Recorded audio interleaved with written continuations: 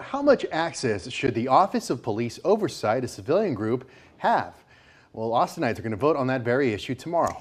KXAN's Grace Reader has what you need to know going into Election Day tomorrow.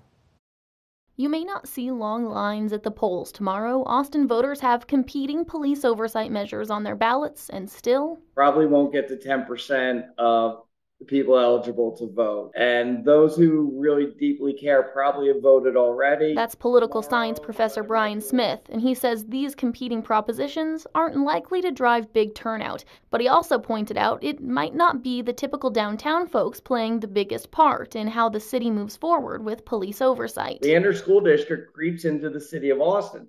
They have a bond election. That affects people's taxes, that affects how much they're paying, that affects their schools. So that part of the city has more incentive to come and vote. And even though the election is Saturday, that may not be the end of it.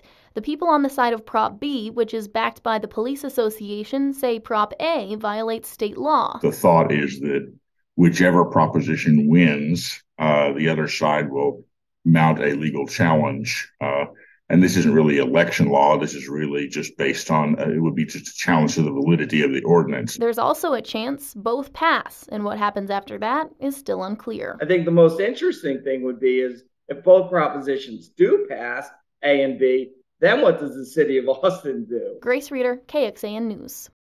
And the city of Austin said this election is expected to cost roughly $1.2 million. In addition to police oversight propositions, school district bonds and trustee elections are going to make up the bulk of the ballots. You can get up to speed right now on KXAN.com.